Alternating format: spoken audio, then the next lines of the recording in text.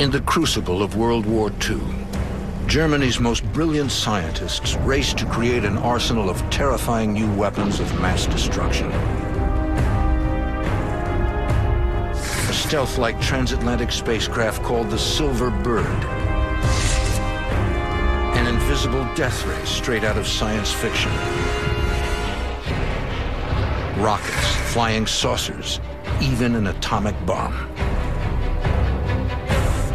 70 years later, Long secret Nazi files reveal the classified blueprints for these and many other devastating wonder weapons. They are the masterworks of a desperate quest to terrify America and their allies, win the war, and rule the world for a thousand years.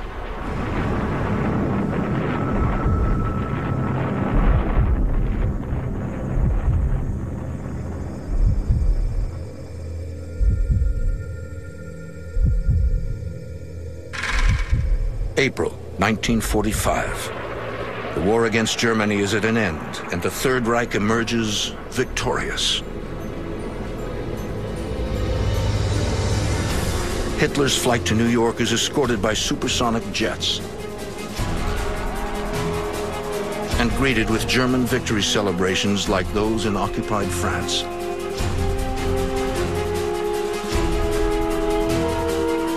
State ceremonies are staged theatrically to heighten the historic moment.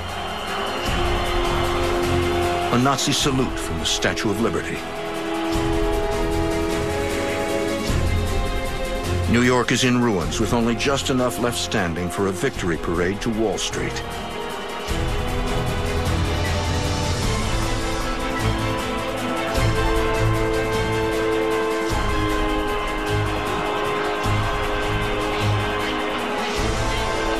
It is the ultimate nightmare of how World War II could have ended, thanks to Hitler's own dream team of hundreds of scientific masterminds. Rocket science superstar Wernher von Braun. Engineer, mathematician, and physicist Irene Bredt. Aerospace engineer Eugen Sänger. Even a Nobel Prize-winning nuclear physicist Werner Heisenberg through the 20s and 30s, the, the Germans technologically were very, very interested in rocket development, science development, tech. This sort of really advanced aerospace development really became a German forte that the other nations around the world were really lagging behind. From this now defunct, top secret, high tech German complex, thousands of brilliant engineers, physicists, chemists, and their staff are generously funded from the Nazi treasury provided with the most modern laboratories in Europe, and ordered to develop the deadliest armaments the world has never seen. The delta-winged Lippisch P-13. A vertical takeoff rotor-winged warplane half a century ahead of its time. A flying aircraft carrier. And the Silbervogel, the silver bird a supersonic suborbital spacecraft capable of bringing the Blitz to Broadway.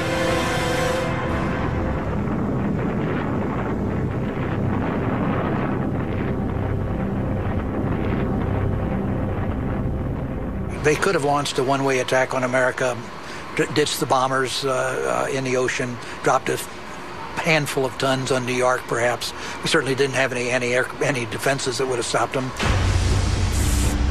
Silverbird never leaves the drawing board, but today, questions still remain. How did German scientists leap so far ahead of their enemies? What's the science behind these machines? And how close does the genius of Nazi science bring Adolf Hitler to the brink of victory?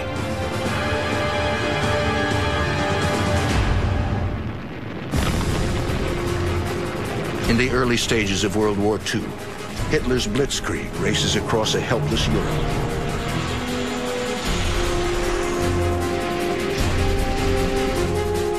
Germany is the first modern nation to wager so heavily that science and technology are the fast lane to world domination.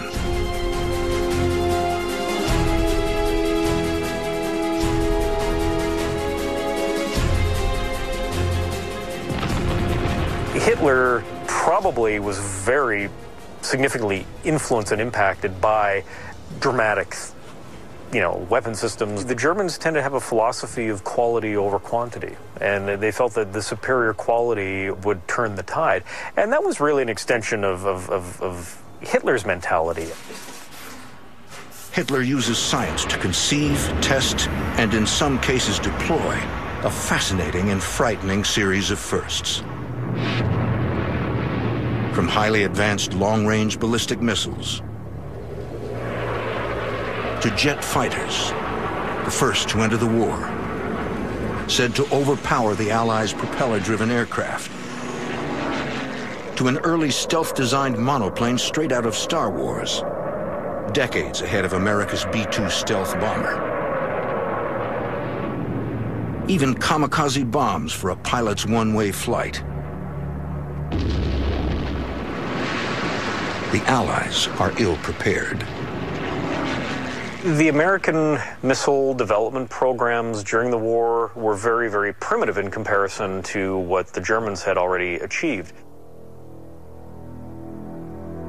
On this small, remote island off the Baltic Sea is a top-secret complex of laboratories and airfields.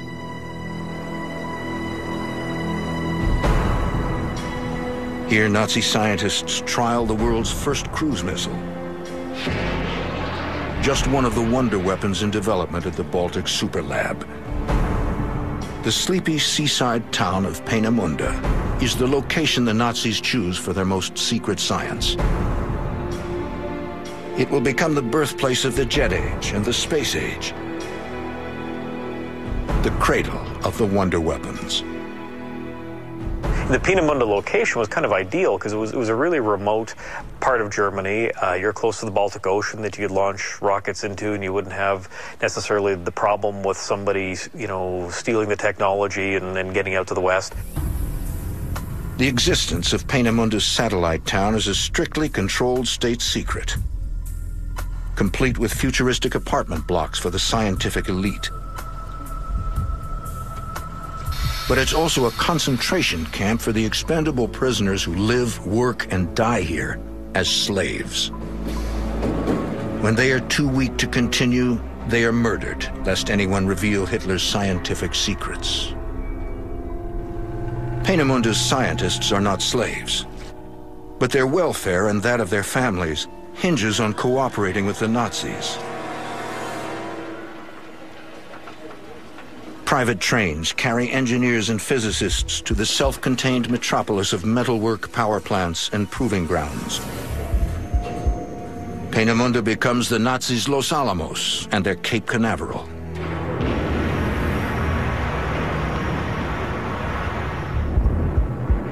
Nineteen forty-three, Germany. The Allies pummel the nation in a hail of bombs. But Adolf Hitler still believes in victory. The Nazis plan an arsenal of terrifying new weapons of mass destruction. With capabilities and range so far advanced, not even America will be spared. Hitler entrusts his propaganda minister to rally the German people toward victory and revenge.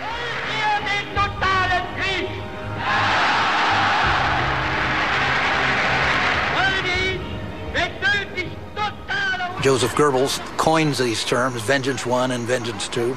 And the idea was that they would be effective uh, to counter the American air offensive and the British air offensive.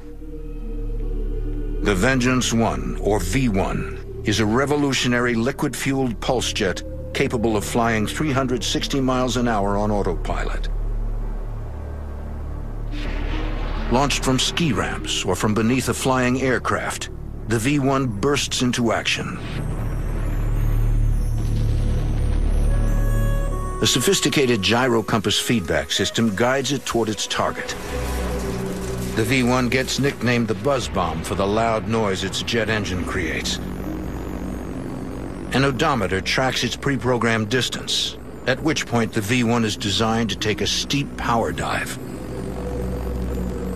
But in early use, the dive cuts off fuel flow and kills the engine. Sudden silence becomes a tip-off to impending doom. Of the 8,000 bombs launched, 2,300 penetrated British defenses, most of them falling in the London vicinity. The propulsion roar of the flying bomb. The world's first cruise missile rains fire and ash on Britain in 1944 and 45, terrorizing London with thousands killed and tens of thousands injured. Hundreds of homes, hospitals, and public buildings were hit. They fell in crowded streets during rush traffic hours. But new deep shelters built for this emergency were put to use and saved the lives of thousands of people. Only one life was lost for every three bombs launched. Few of the robot bombs resulted in fire, but the great concussive blasts of Vengeance Weapon Number One exceeded anything London had experienced. Part technological masterpiece, part military triumph. Hitler's secret science is paying off. But there's one big problem with the Big Bang. Accuracy.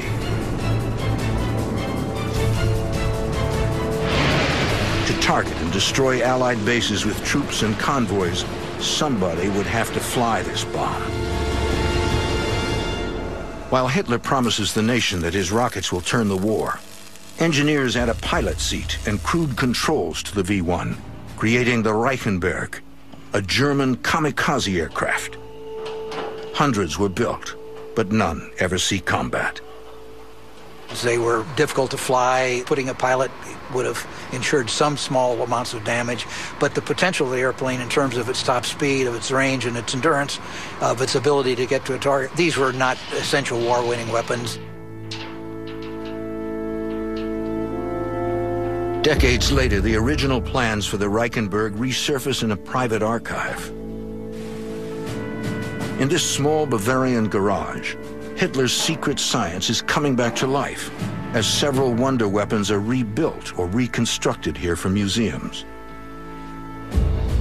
The Bavarian builders find welded seams of inconsistent quality, suggesting that some were done by skilled technicians others by exhausted concentration camp prisoners.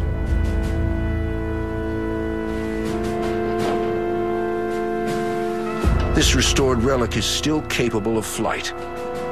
All it lacks is the volunteer to fly it.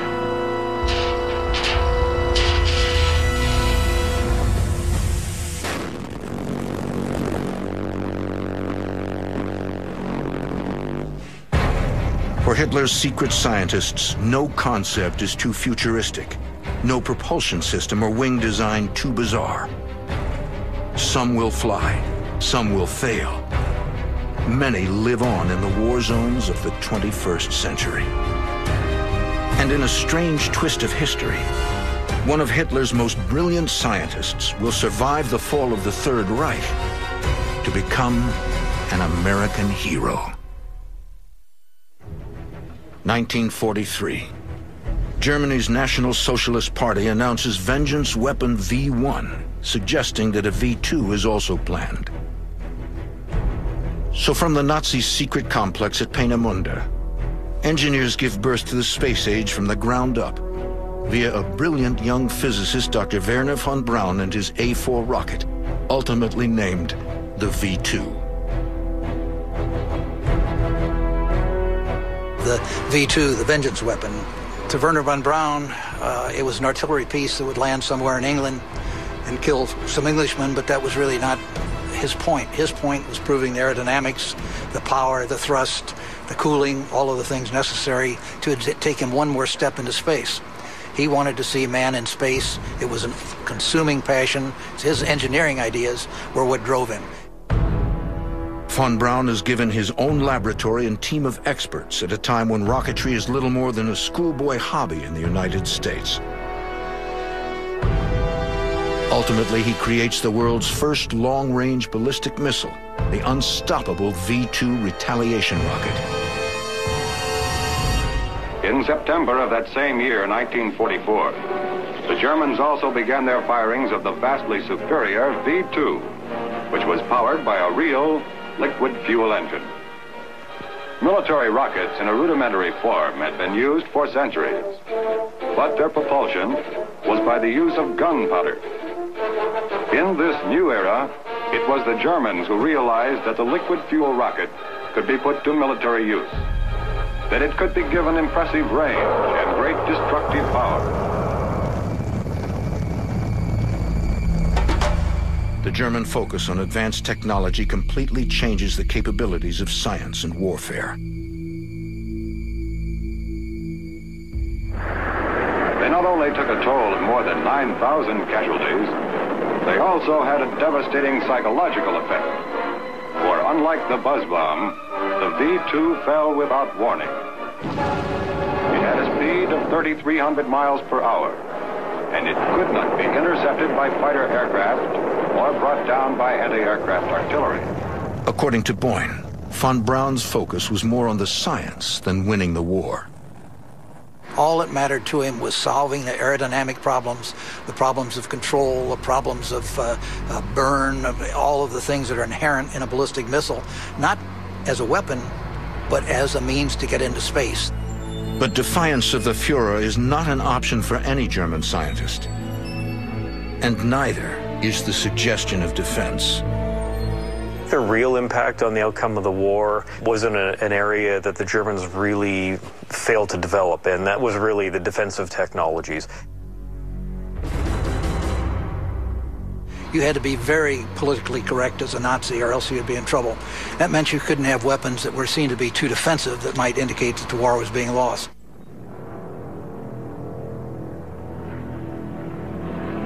But the truth for Germany was that the war was being lost. 1944. U.S. warplanes attack a Nazi convoy of trucks carrying the one wonder weapon that might have made a difference had it ever been deployed.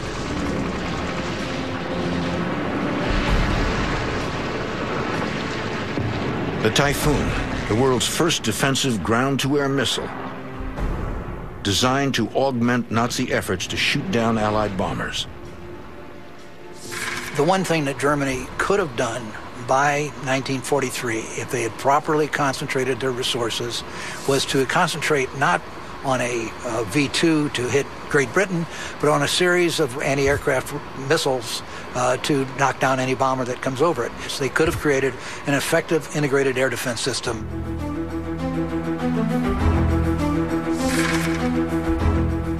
Typhoon's first field tests were conducted at Station 4 in Peenemünde in 1944. It's revolutionary and economical. A simple steel tube about six feet long, filled with a mix of nitric acid and synthetic fuel.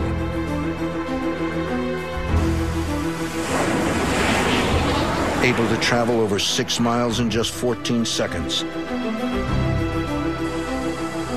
Over a million are planned for production by 1945. But that didn't happen. It was clearly beyond their capacity to do. They were absorbed with, they thought they had either won the war or then they were absorbed with maintaining the war to as long as to keep themselves in power as long as possible. They never concentrated their resources. They never allowed the people who might have done these things to get together and do them. There was too much suspicion. There was too much uh, uh, party politics. This computer simulation shows how the defensive Typhoon rocket's mobile shooting base will look when rebuilt. A secret science artifact that perpetuates the wonder weapon mystique today. These craftsmen are building just one Typhoon, not the millions Germany dreamed would cleanse the sky of Allied bombers. Ultimately, it's the ingenuity of Nazi weapons, not their numbers, that propels the world further, faster, and higher than anything ever seen.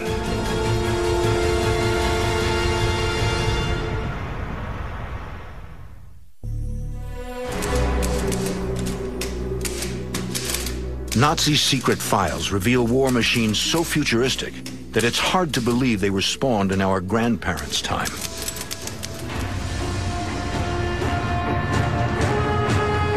Powered flight is less than 30 years old when Hitler seizes power. Yet within months, the blackboards and blueprints of his Third Reich are bursting with incredible designs. Before the war is over, Germany will produce a series of aeronautical firsts that remain the basis for many air and spacecraft today. The Arado 234, the world's first operational turbojet bomber and the most advanced jet of its kind. The Arado was the uh, second of the airplanes that reached production employing the Junkers Jumo 004 engine. And uh, it uh, was just a very lightweight, clean, uh, streamlined airplane that uh, put a lot of pilot duties on. The pilot had to be the bombardier and the, and the navigator and the gunner. But it was effective, it was easy to fly, and, and uh, relatively easy to maintain. So uh, it, it served in small numbers and was an uh, airplane that any country would have been proud to fly.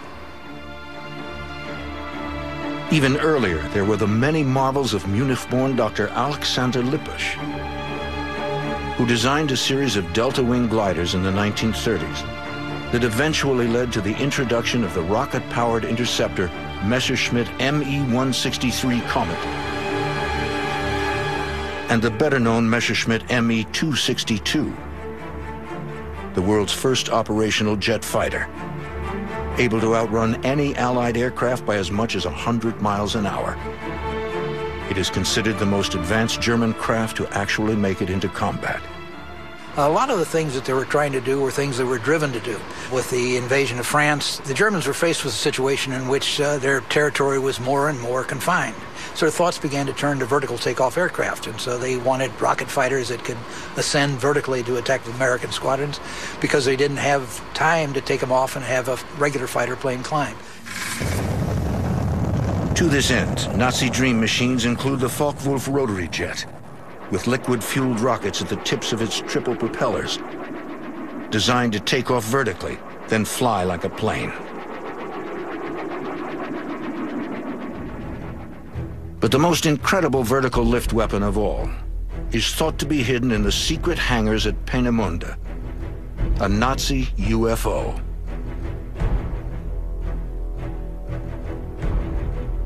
An article in German news magazine Der Spiegel later reveals the secret invention Rudolf Schriever plans for the SS from neighboring Czechoslovakia. The piloted Schriever Flugkreisel, nearly 50 feet in diameter, with three impulse jets on a rotor inside a circular fuselage. This UFO was never built.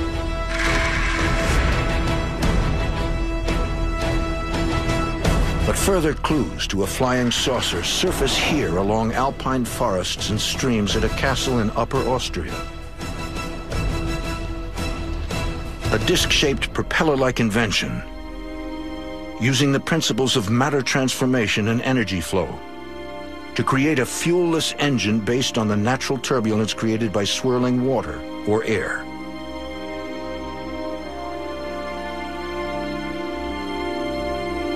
Jörg Schauberger says that his grandfather's concept for a totally new propulsion system turned rumors of a UFO into reality.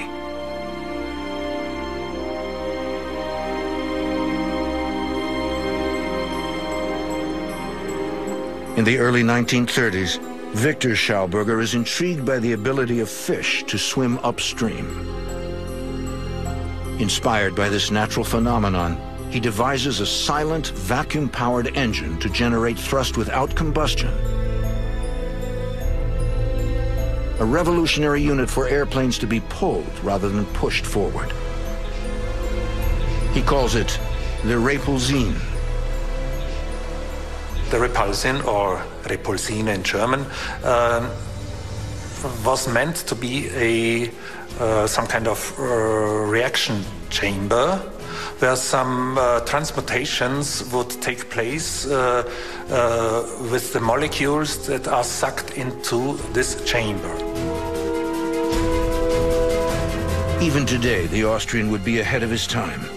In World War II, his invention is right on course with Hitler's quest for wonder weapons. Against his will, Victor Schauberger is forced into the very heart of Nazi science working inside a weapons lab staffed by slave labor.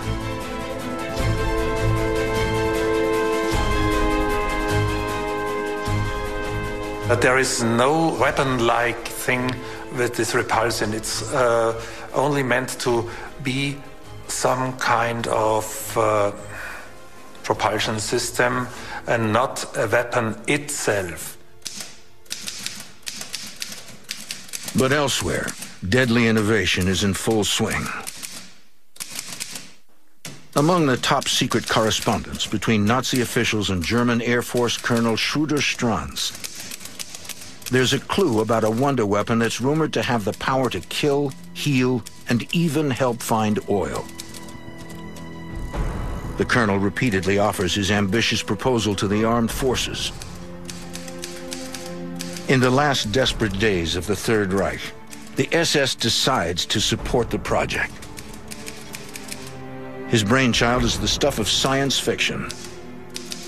A wonder weapon that can pierce the thickest armor or send enemy planes crashing down from the sky.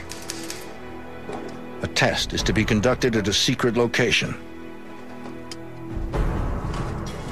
Crates are unloaded at night so no one will be alerted to the classified operation. The crates contain valuable metals and a Geiger counter to measure radiation.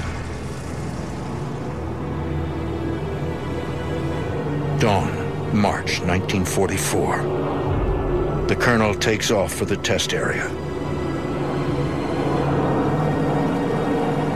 If the weapon works, he'll receive unlimited financial support. Colonel Schroeder Stranz is the only man who knows the exact details of the tests to be run. A quarry in the middle of the forest in the Harz Mountains.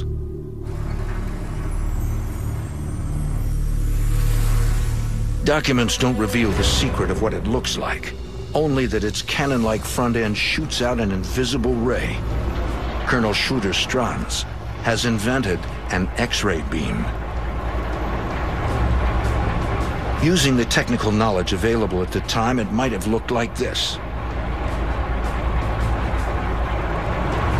Despite shortages caused by the war, Nazi scientists still have access to valuable metals and measuring instruments, which were by now extremely rare.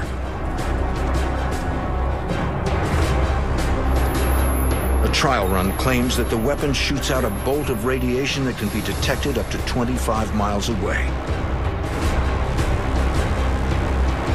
The SS and Colonel Stranz are successful.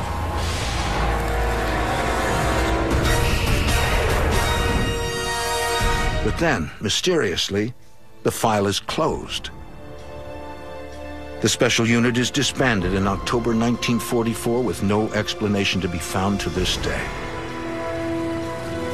Shrouded in secrecy, Hitler's science straddles the border between fact and fiction. But one of the Fuhrer's quests is beyond dispute. It is the most desperate and decisive race of all. Who will be the first to build an atomic bomb?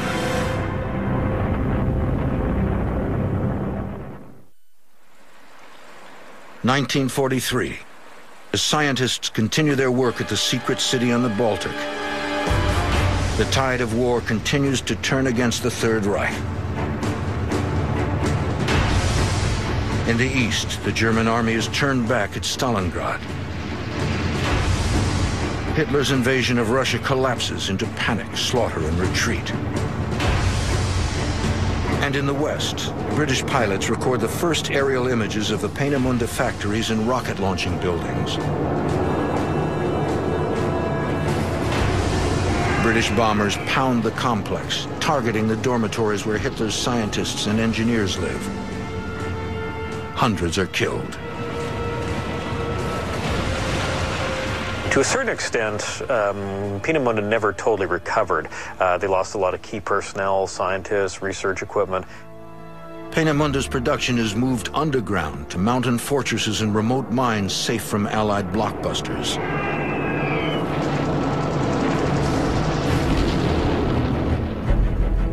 Elsewhere, Stuttgart, Germany, 1944. Nazis plot the ultimate weapon to win the war, an atomic bomb. A team of German scientists attempt to unlock the secret of nuclear fission to produce electric power. Half a world away, physicists at Los Alamos, New Mexico are on the same quest, using the radioactive uranium of the American West to set off the world's first nuclear weapon. But the Germans have their own atomic genius, Nobel Prize winner Werner Heisenberg. Heisenberg and his team call themselves the Uranium Club. But the German army has other plans for the atom smashers. In early 1945, neither the U.S. military nor researchers know anything about the state of nuclear capability in Germany. A secret U.S. project, codenamed Operation Alsos, is established to find out if the German atomic bomb project exists. Outside the city of Stuttgart, beneath a castle in Haigerloch, Alsos agents discover an atomic reactor in a stone cellar.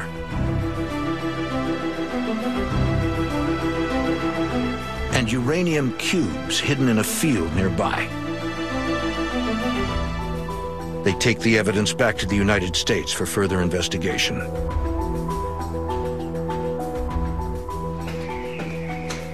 Months earlier at this same medieval castle, clandestine shipments of heavy water, a key ingredient to nuclear power, arrive here from Nazi-occupied Norway. Despite valiant attempts from the Norwegian resistance to prevent it from ever reaching Germany. A secret code reveals the amount of deuterium inside each transferred barrel.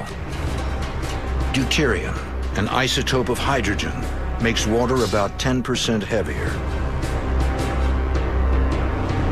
The Nazis plan to combine this shipment of heavy water with the cubes of uranium to begin the nuclear age.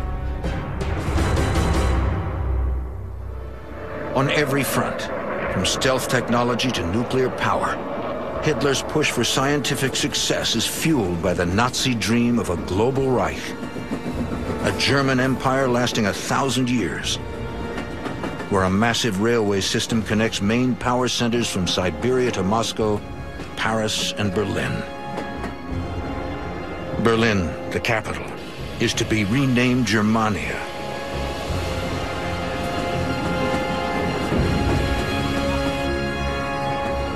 The dominant high-tech centerpiece of a new world order.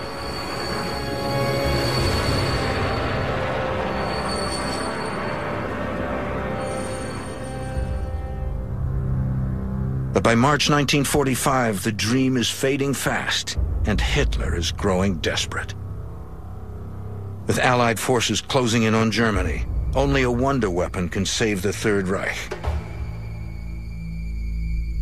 But at the Trinity site in the New Mexico desert, it's America who proves the power of the atomic bomb.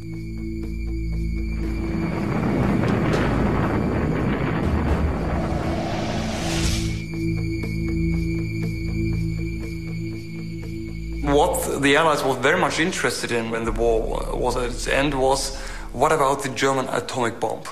How um, far did they come? This was the, the final question. And so they decided to put the 10 leading um, atomic scientists together in Farm Hall near Cambridge. And, and there, in Farm Hall they were bugged. And um, the outcome was that obviously the Germans first had no atomic bomb and second had also, in the end, not a clue about the function of the atomic bomb. But what about the Nazi wonder weapons that did come to pass? And where do they live on today?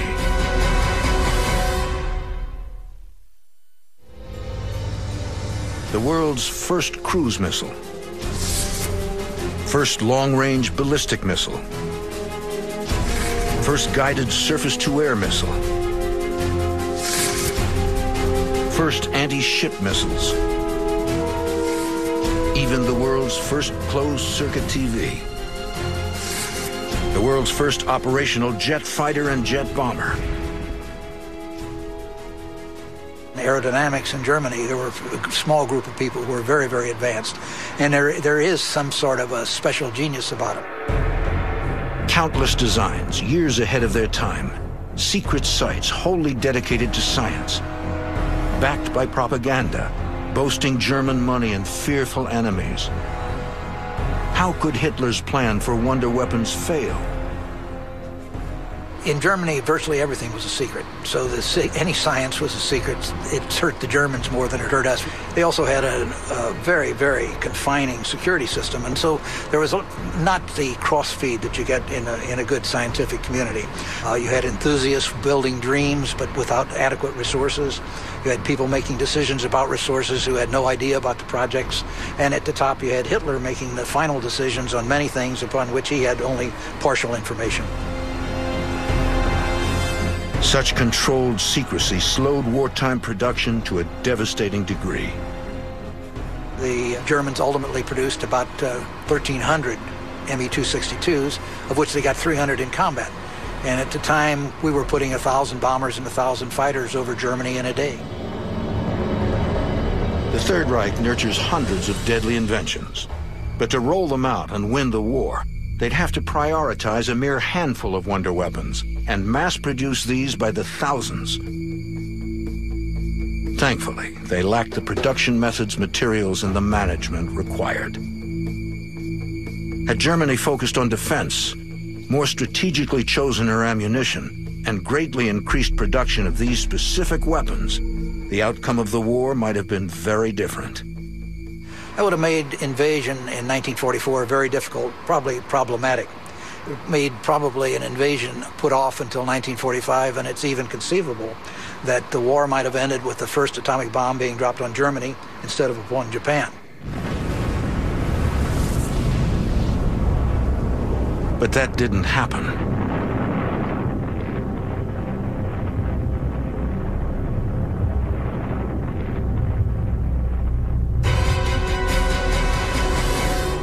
1945, the Nazi dream is finally destroyed by Allied bombs.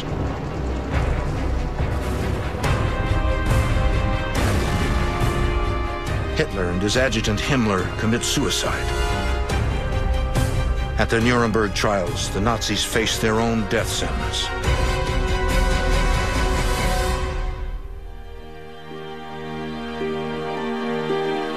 The entire world now learns of the unspeakable horror of concentration camps and the depth of Hitler's dark dreams of domination.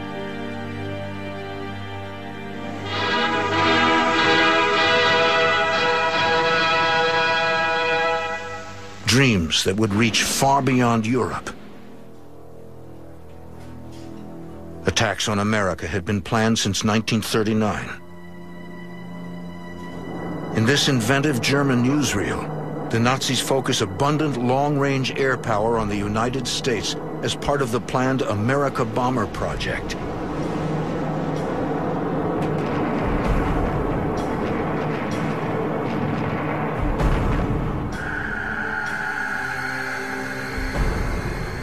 Had the Germans been able to develop and deploy their, their America Bomber program, they bring the war to the mainland of the United States. I think it might have had some impact on American strategic doctrine.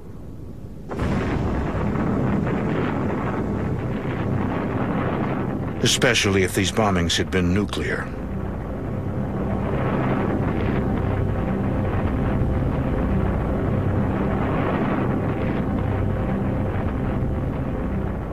I mean, the only the only result the German uh, Air Force could achieve was uh, to send a handful of very long-range bombers over the Atlantic and to drop, say, a dozen tons of bombs on, on New York or Washington. None of the German vengeance weapon programs, and certainly not the America bomber, would have had any chance of its intended effect without a nuclear weapon. In the end, Adolf Hitler never sets foot in New York. But the head of Hitler's secret science program does cross the Atlantic and changes the course of history. In 1945, as American and Soviet troops close in on Berlin, rocket genius Wernher von Braun and a small group of his most loyal associates must choose their destiny. Surrender to the Russians, take cyanide, or align with the Allies.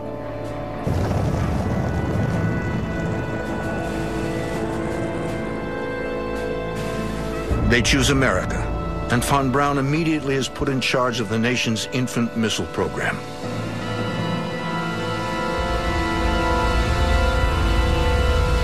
The White Sands testing grounds in New Mexico where von Braun works on a new rocket and accomplishes his space dream after all.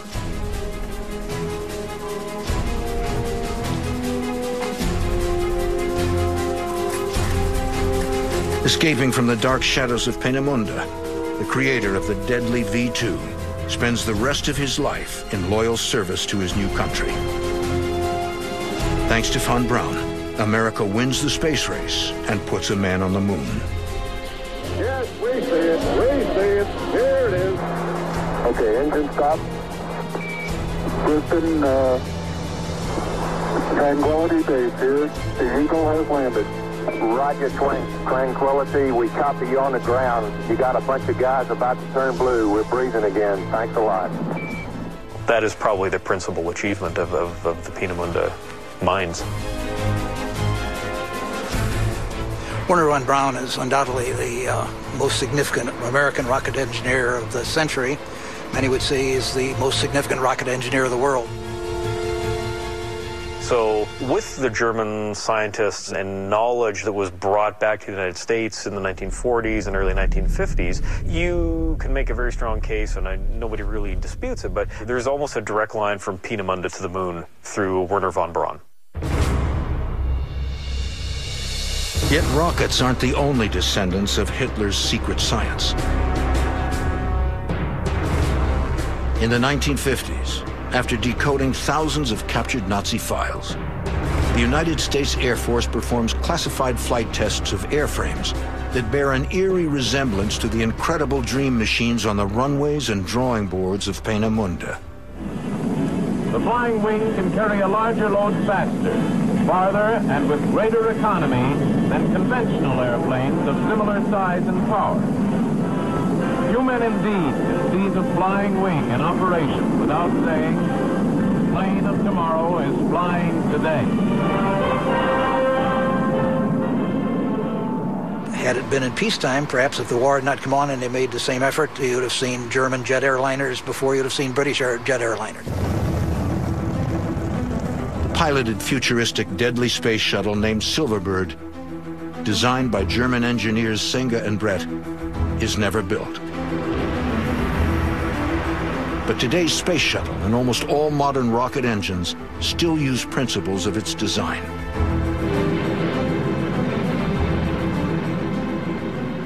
Parallel to uh, von Braun's work with the V2 and the type of fuels that he used in the V2, combustible fuels, those engines were used subsequently in the United States and uh, by Bell and others. Uh, ultimately, the uh, much more sophisticated variations of them would even appear, for example, in the X-15.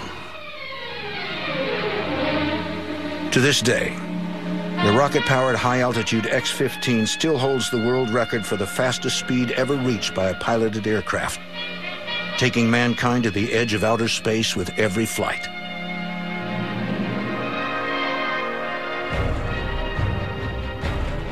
There's no argument that Germany had some of the most talented weapons designers on the planet at the time, but they were failed by their leadership.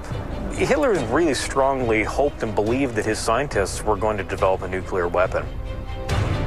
Even without atomic energy, the Nazis reached unprecedented heights of scientific advancement, all in the name of war.